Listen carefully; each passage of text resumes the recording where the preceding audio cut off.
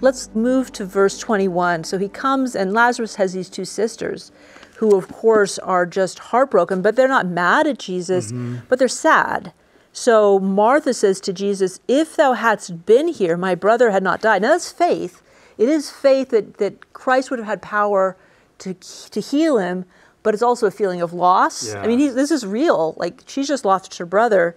But if you look at the next verse, but I know that even now, whatsoever thou wilt ask of God, God will give it thee. So, so this is really so someone who's not angry, who trusts, and um, and then Christ promises, "Thy brother shall rise again." But Martha still, you know, she's she's looking ahead long term.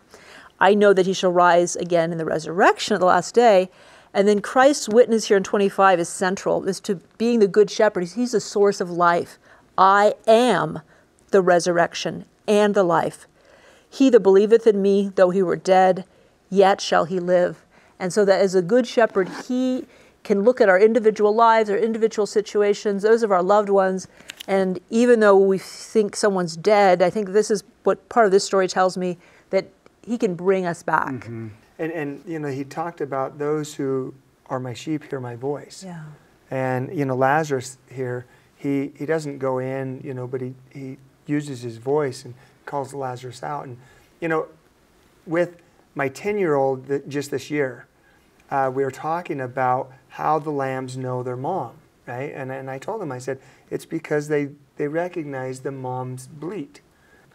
And it was just last week, our three bum lambs got out and started eating in my wife's flowers, which, you know, my wife starts yelling, like, hey, the lambs are out again. And I'm like, oh dear. I'm like, come on, boys, let's go.